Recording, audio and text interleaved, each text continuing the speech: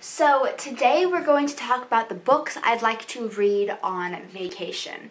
I know, straight into it, except I forgot to say my intro, so let's do it again. Hi everybody, it's me Madi and welcome back to another video on my YouTube channel. If you're new to my channel, hi, my name is Madi and I post book related content every single Monday, or at least I try to, but I do miss some weeks, uh, sometimes, a couple times. I mean, I did really good earlier this year and then we just, it's okay. Um, yeah, so today we're doing a TBR video. I, the last time I did a video like this, not a TBR, but a TBR for vacation, was back when I still had side bangs. So you know it's been a while. Uh, I think it was 7th grade, maybe. Like, I think, yeah, I think it was 7th grade. That video, I am 100% sure is privated. If it's not privated, I will private it after I film this video because nobody needs to see that. But I remember exactly what book I read on that vacation, and it was the sequel to Stalking Jack the Ripper. So, anyway, today we're just going to do a quick, like, TBR video. Uh I got three books I'm going to bring on vacation and let's talk about them. I think I actually have three of each genre or like each age range actually would be the correct, not each genre because then I have like a giant stack. Uh, yeah, so let's get into this. The first book is The Mighty Heart of Sunny St. James by Ashley Herring Blake. This is actually on my January TBR and I never read it then. I have started it a couple of times. I have my bookmark here on page six. Uh, I need to read this because my friend Taylor actually said she would be interested in reading this for herself. And I said, okay, you can read it after I read it. And I've never read it. So Taylor, if you're watching this, I am sorry. I'm working on it. I mean, I'm not working on it, which is why I haven't read it yet. But yeah, this is basically like about this is about a girl named Sunny who gets a new heart because she has she has a heart transplant and then she decides to set off on a new life plan. One, do awesome amazing things but she can never do before. Two, find a new best friend and three, find a boy and kiss him. But the problem is, or it's not really a problem, but like the thing is that uh, she has a crush on her new best friend Quinn, I believe. Uh, and I don't know, I loved that was my phone, sorry. But I really loved her date, uh, Ashley's debut into middle grade called Ivy Aberdeen's Letter to the World, and I really, really love that book, and I cried, so I really do want to read this book. I hope I'll like it.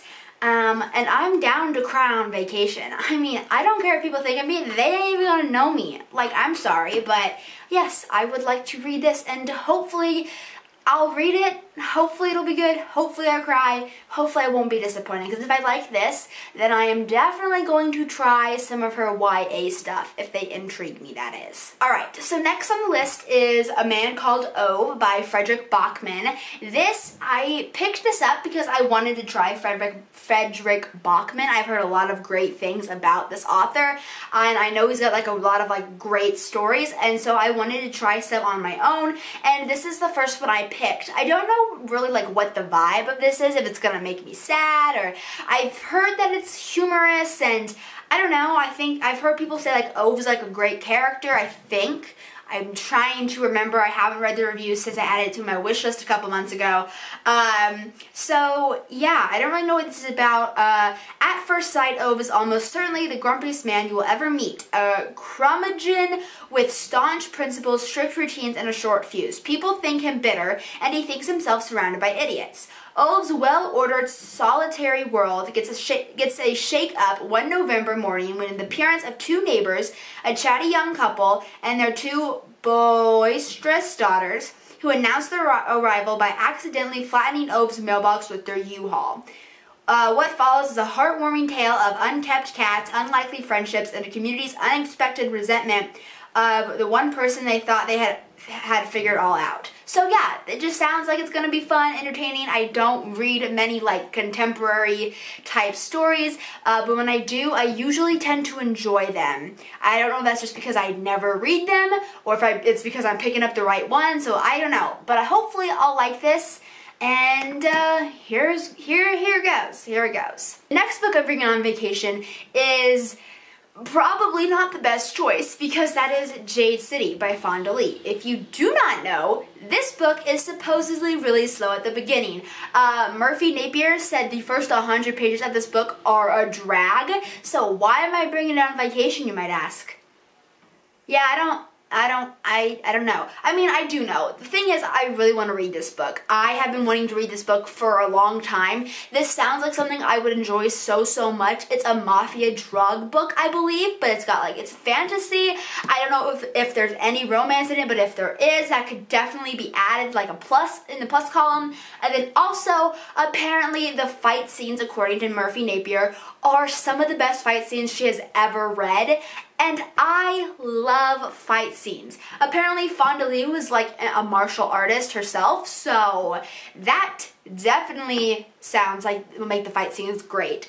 I don't know. I just I've heard such great things about this book and this series and I just want to read it finally and see if I like the world of Jade, okay? I just want to know, alright? And, I mean, this is probably the worst group of books I've ever decided to bring on vacation because this one I've heard is really slow, this one is nowhere near my comfort zone, and this one I've put down, even if it's only six pages into it, I've still put it down repeatedly. So I don't know what I'm doing, um, but I will have my phone and I will be able to read stuff off of NetGalley if I really do need it. Uh, so yeah, but this is my TBR for vacation. Uh, hope you guys enjoyed the video. If you did, tell me down in the comment section which books do you think I should read first on vacation. Uh, honestly, you could answer that and I'm probably not going to listen to you, but still, feel free. It might be fun. Uh, but yeah, thank you so much for watching this video. I hope you guys enjoyed it. If you did, don't forget to give it a big fat thumbs up and subscribe down below because I post videos on this channel every single Monday, usually. And so I'll see you guys, I'll see y'all next Monday for another video. Okay, bye. And hey, do not forget I'm still a freaking bulldozer. Bye, everyone.